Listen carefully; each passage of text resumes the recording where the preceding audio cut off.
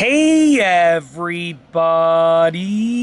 I'm here today to answer the simple question of how does a key open a lock? I'll be giving you a demonstration with a transparent padlock that I have along with its corresponding key. Let's get right into the video. So you probably use your key or a key to open a lock of some sort all the time. You probably use it to open the lock on your front door, the lock in your car, and all sorts of other locks. But how does a key actually open a lock? Well, I'm going to explain it and demonstrate with this transparent padlock. Let's start off by taking a look at the actual lock itself, okay? So you can see that they have a barrel right here. So this right here is where the key goes into, and that is corresponding to this barrel over here. And on top of the barrel, there are all of these pins. And you can see that these pins are different sizes, or different lengths, okay? And there's one final pin at the end right here, which is used um, sort of to allow the barrel to turn, okay? Now, if I try and turn the barrel without the key inserted, I'll just insert it a little bit. So if I insert it a bit and I try and turn the barrel, it's not gonna work. And I'll tell you why these pins right here are not in the correct positions.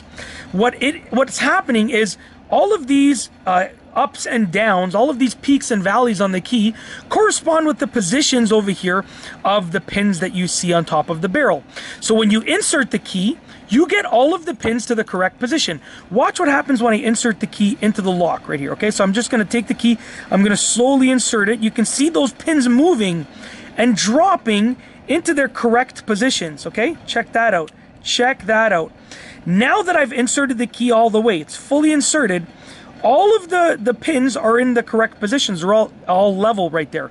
And what that means is that now, since they're all in the correct positions, I can turn the key, which turns the barrel, which allows the lock to unlock. Okay, so check this out. When I turn the key, okay, it turns the barrel, and the padlock now pops open okay? Just like that. So you can see that with the key fully inserted, all of those pins are in the correct positions, and now, as you can see right there, it allows me to turn the barrel, which operates the lock. Now, this is how it looks with a padlock, but even on the lock like a deadbolt on your front door or a car lock that you might use a key with on an older style car or a newer style car if it has a key instead of a key fob, or if you just choose to use the key instead of the key fob uh, because the option is likely still going to be there, that's what happens. Now, with different locks, they won't necessarily pop open. When you turn a deadbolt, like on your front door, that's going to move the deadbolt in and out of the door frame, which will unlock and the door. On a padlock, it looks like this, where it pops it open, but that's essentially how it works, okay? And the spring over here is what allows the padlock to pop open, just so you know, just like that, okay?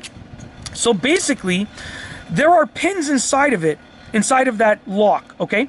And when you insert a key, the peaks and valleys that you see on that key um, allow the pins to go into the correct positions that will allow them to that will allow the barrel to turn, which allows the lock to unlock or to operate, I should say, to lock or unlock. Right? It depends on the type of lock, but it allows the barrel to turn, which allows the lock to actually operate and function. That's it. That is how does a key open a lock. A very simple tutorial showing you a demonstration with a transparent padlock. If you like this video, please be sure to give it a thumbs up. Let me know what you think down below as a comment. And of course, be sure to subscribe for more great videos just like this one. And that's all I have for you today. Thanks for watching.